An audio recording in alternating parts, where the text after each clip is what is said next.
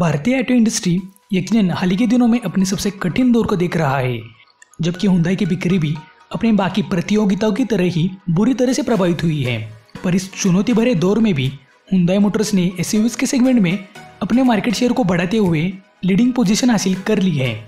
इसमें हुंदाई की क्रेटा और वेन्यू ने एक अहम भूमिका निभाई है।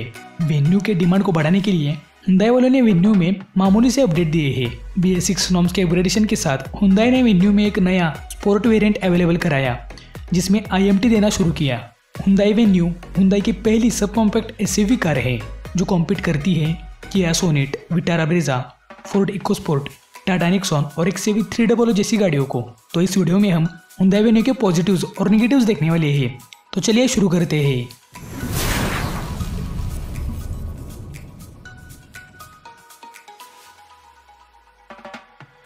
हुंडई मोटर्स ने एक डीजल और दो पेट्रोल इंजन के साथ हर प्रकार के इंजन ऑप्शंस अवेलेबल कराए हैं, जिससे कि हर प्रकार के बायर को प्रभावित किया जा सके।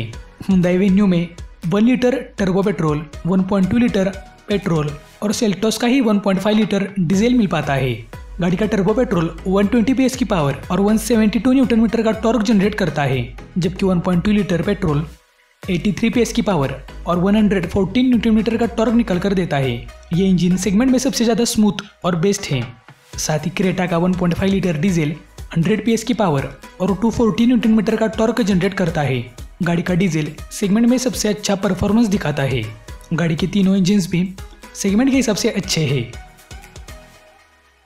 हुंडई मोटर्स ने वेन्यू में एडवांस टेक्नोलॉजी वाले ट्रांसमिशन सिस्टम देना शुरू किया है, जिसमें कि आई और डी मिल पाते हैं।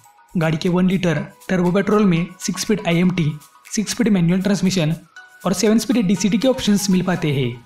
सेगमेंट में मारुति, टाटा और महिंद्रा वाले सिर्फ़ ए ही ऑफ़र करते हैं, जो कि अब पुराना ट्रांसमिशन हो गया है, जबकि हुंदाई वाले आई एम टी और D C T transmission offer करते हैं, जो कि सबसे एडवांस टेक्नोलॉजी मानी जाती है। यहाँ पर one litre T G D I और डी सी टी का कॉम्बिनेशन सेगमेंट में सबसे अच्छा है।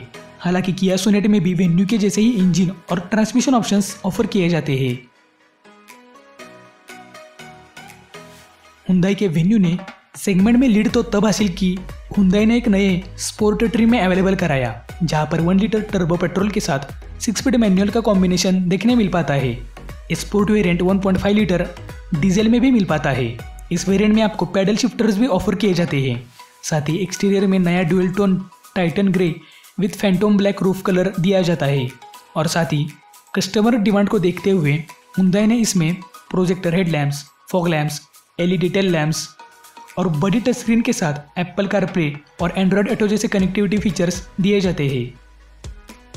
आपको शायद ही पता होगा कि Hyundai Venue sub compact S के सेगमेंट में सबसे पहली कनेक्टेड कार है। गाड़ी के टॉप वेरियंट्स में आपको ब्लू लिंक कनेक्टिविटी मिल पाती है। इस ब्लूलिंग कनेक्टिविटी की वजह से आपके हाथ में कई सारे कंट्रोल्स आ जाते हैं। इसकी वजह से कार और आपके बीच महत्वपूर्ण सूचनाओं का आदान प्रदान होता है। ये एक आर्टिफिशियल इंटेलिजेंस बेस्ड टेक्नोलॉजी है, जो इन बिल्ड सिम कार्ड के साथ आती है। इसमें 33 कनेक्टेड फीचर्स मिलते हैं, जिसमें कि voice assisted dialling vehicle navigation control voice recognition जैसे एडवांस फीचर्स मिल पाते हैं। सेफ्टी में auto crash notification S emergency assist road side assistance panic notification जैसे फीचर्स की वजह से एक्सीडेंटल केसेस में हुंदाई कॉल सेंटर से आपको मदद मिलती है। साथ ही आपके कॉन्टैक्ट लिस्ट में से पाँच लोगों को नोटिफिकेशन एसएमएस या फिर जीपीएस नेविगेशन के द्वारा सूचित किया जाता है, जो कि आज के समय को देखते हुए बहुत ही अच्छा फीचर है। और ब्लू लिंक ऐप के ज़रिए आप remote engine start stop climate control remote door lock horn and lift control find my car vehicle real time tracking real traffic condition जैसे कई सारे फीचर्स आपको ऑफ़र किए जाते हैं। साथ ही गाड़ी में electric sunroof 8.8 point eight inches touch screen with Blue Link connectivity app Android auto and Apple connectivity voice commands air purifier wireless phone charging जैसे आज के ज़माने के इन डिमांड फीचर्स भी मिलते हैं। पिछले दो दशकों से अधिक समय में भारत में होने के कारण हुंदाई ने अपना बड़ा सा सर्विस नेटवर्क खड़ा किया है। इस बड़े से सर्विस नेटवर्क से पता चलता है कि एक साउथ कोरियन एटोजेंट इंडिया के अंदर कितने अंदर तक फैला हुआ है, जबकि इंडियन ऑटो मेकर्स तो इतनी अच्छी सेल सर्विस देने में सक्षम नहीं है। इसमें हुंदाई मोटर्स की दाद देनी पड़ेगी। साथ ही गाड़ी की डिज़ाइन लैंग्वेज बहुत ही अच्छी है।